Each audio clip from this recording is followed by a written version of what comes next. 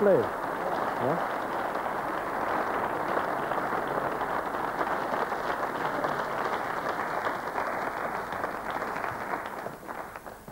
Guten Abend, ich begrüße ganz herzlich Sie und auch Sie hier im Studio und die Weltmeistermannschaft aus Malaysia, genauer gesagt aus Kuala Lumpur, im Fußballtennis. Willkommen.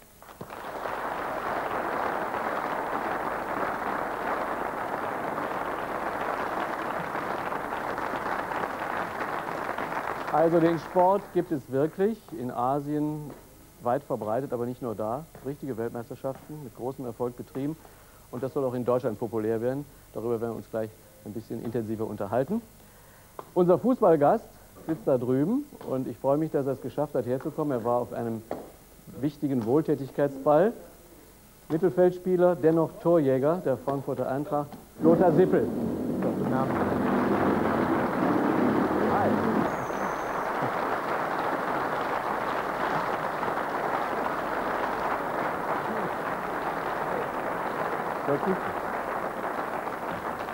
Und das hier ist die Motorsportentdeckung des Jahres. Ein Mann, den man normalerweise nicht zu fassen kriegt. Jetzt endlich, weil die Saison vorüber ist. Ich freue mich ganz besonders über Michael Schumacher aus Gerpen. Danke.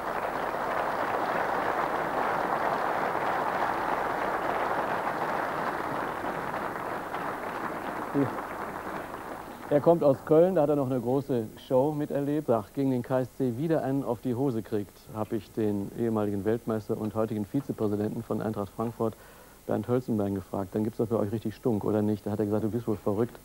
Wir gewinnen. Wir bleiben auch oben, wenn wir auch noch lange nicht deutscher Meister sind. Aber der KSC, man weiß ja nie, am letzten Mittwoch jedenfalls, als äh, die Frankfurter mit 0 zu 1 gegen Gent verloren und aus dem UEFA Cup flutschten. Da waren sie völlig von den Socken, genauso wie Anfang September, als der KSC mit dem gleichen Ergebnis dafür sorgte, dass sie aus dem DFB-Pokal kippten. Und der letzte Bundesligasieg, das muss man natürlich dazu sagen, der Karlsruher in Frankfurt liegt 16 Jahre zurück. Damals tummelte sich der heutige Trainer Winfried Schäfer im Mittelfeld und der heutige Manager Karl-Heinz Rühl war der Trainer. Wenn man den Anfang des Beitrags von Rolf Töpperwin sieht, dann könnte man denken, jawohl, heute war es wieder mal soweit. Überschäumende Begeisterung der KSC-Fans bei Schlusspfiff. Die Spieler genießen das Bad in der Menge. Trainer Schäfer in Siegerpose. Ein Grund war sicher dieser. Wolfgang Rolf flankt und Burkhard Reich erzielt sein erstes Bundesligator. 1 zu 0 für Karlsruhe nach 51 Minuten.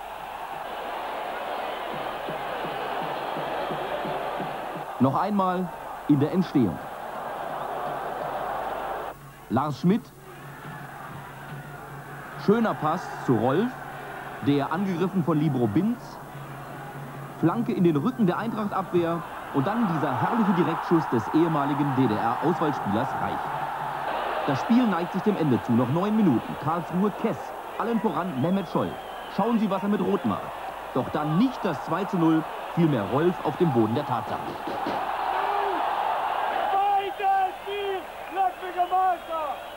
Der direkte Gegenzug. Möller schüttelt seinen Sonderbewacher Schmidt ab.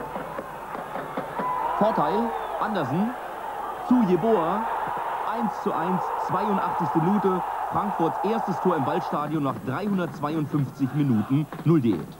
Noch einmal Möller, den sich Real Madrids Trainer Benhacker heute anschaute. Andersen und Jeboas achter Treffer in dieser Saison. Jetzt ging es erst richtig los. Freistoß Möller. Bein. Wieder Möller. Noch drei Minuten. Und das Duell der Trainer trat in die entscheidende Phase.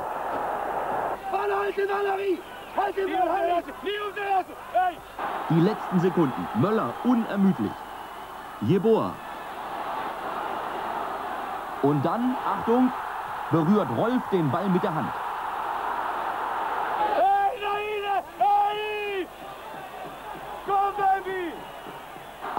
Kein absichtliches Handspiel. Schiedsrichter aus, bewies nicht nur in dieser Situation ein gutes Auge.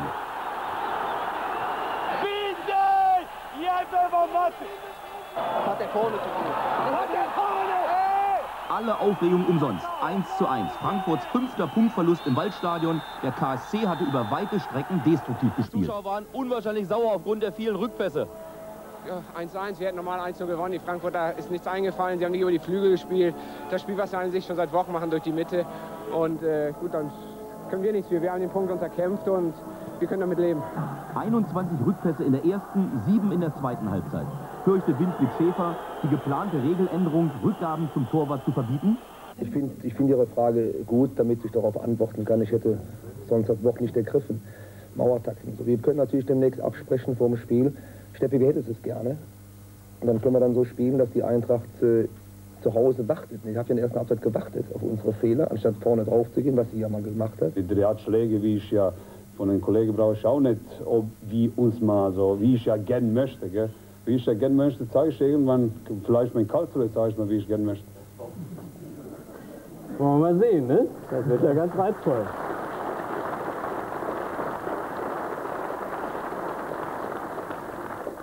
Lothar Sippel hatte gedacht, nachdem ich ihn diese Woche schon eingeladen hatte, wir wollten ihn heute nicht mehr. Warum? Na gut, nach den letzten Spielen war es wirklich nicht gerade rosig bei uns. Wir haben sehr viele Anlaufschwierigkeiten gehabt, haben eine leichte Krise vielleicht gehabt, aber ich glaube, nachdem wir endlich mal wieder zu Hause getroffen haben, geht es wieder aufwärts mit uns. Aber das vierte Heimspiel in Folge jetzt nicht gewonnen. Was ist denn los? Der Trainer spricht von Krise. Ja, ich meine, man kann Krise in Anführungszeichen vielleicht setzen bei uns. Aber es sieht so aus, dass andere in der Krise zwei, drei Spiele hintereinander verloren haben und stehen im Mittelfeld und wir stehen immer noch an erster Stelle und das sagt eigentlich alles. Ja, aber irgendwas muss doch los sein. Draußen spielt ihr wie die Weltmeister und zu Hause, ich will jetzt mal sagen, brecht ihr euch einen ab. Das ging ja heute, ich sage mit 1 zu 0, habe ich jetzt zu Holzenbein gesagt. Für Karlsruhe lag ich ja bis fünf Minuten vor Schluss gar nicht so schief, ne? Ja, aber danach ist der Bann gebrochen. Ich habe es gerade eben erwähnt.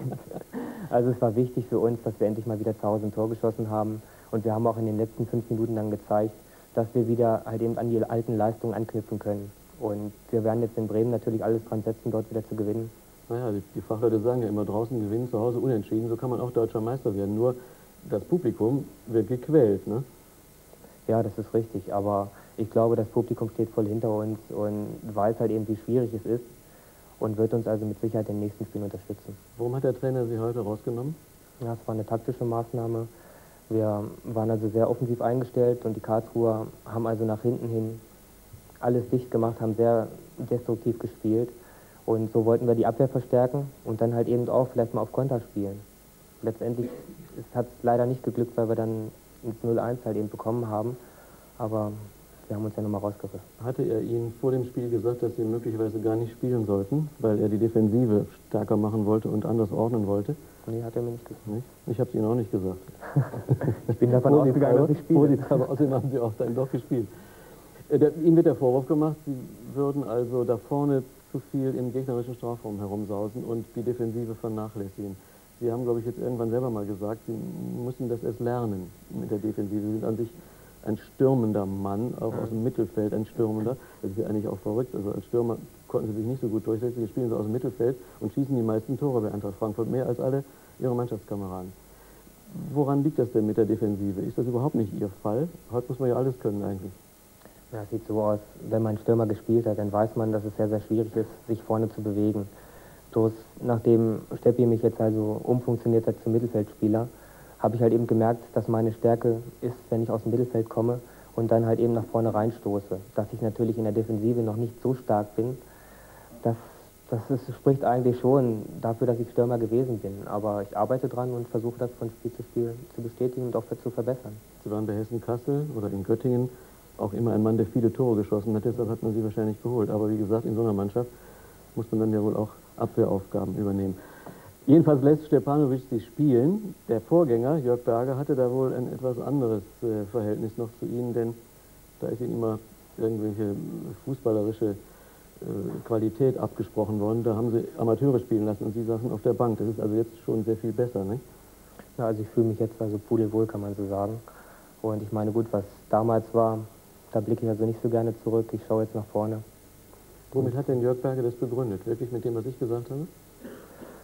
Ja, ich meine, es gab mehrere Begründungen, aber ich will jetzt wirklich keine Ursachenforschung hier betreiben. Wir kamen privat ganz gut miteinander klar oder kommen bislang heute auch noch miteinander gut klar. Bloß auf dem Spielfeld hat es halt eben leider nicht so geklappt. Gegen Ende der Saison haben Sie sich damals mit dem Gedanken getragen, die Eintracht zu verlassen. Ist es jetzt wieder soweit? es sieht so aus, dass ich halt eben nach allen Seiten momentan offen bin. Ich lasse es wirklich alles ganz locker auf mich zukommen, höre mir die Angebote an und setze natürlich die Priorität bei der Eintracht. Aber wie gesagt, abwarten. Sie haben Angebote?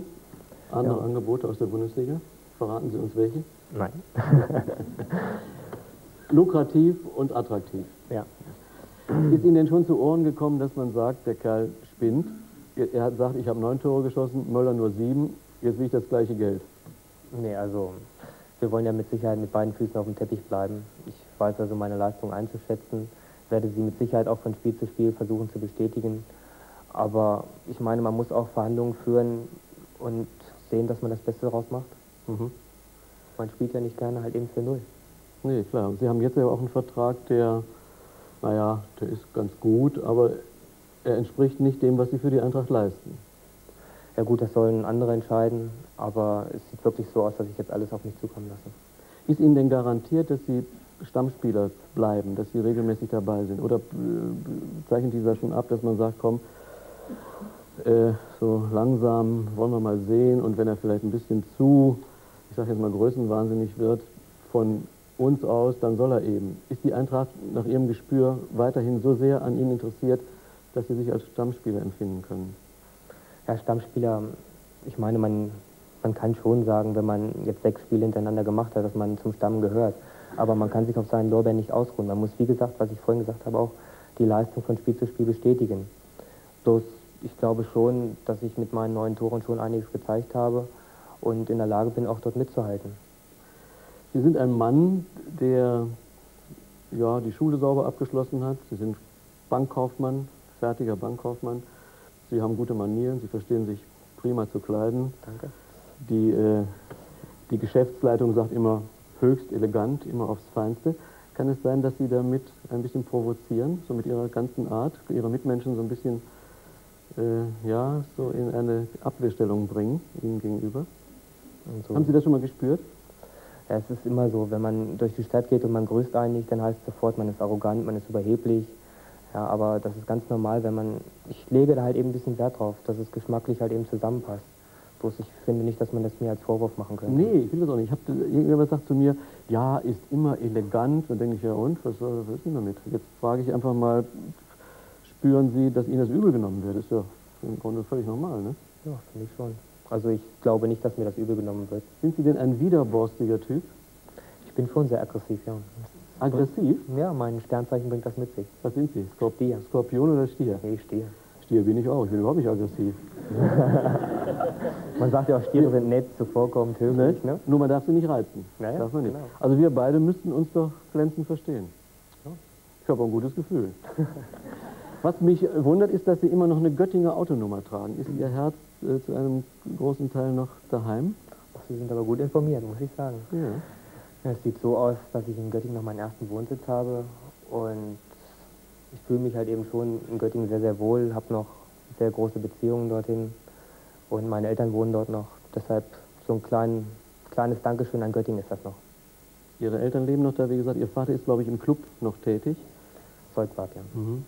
Und äh, was ist denn Ihre Freundin für ein Sternzeichen? Jungfrau.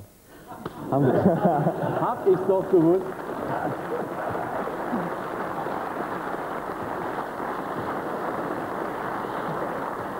Stiere. Macht doch immer.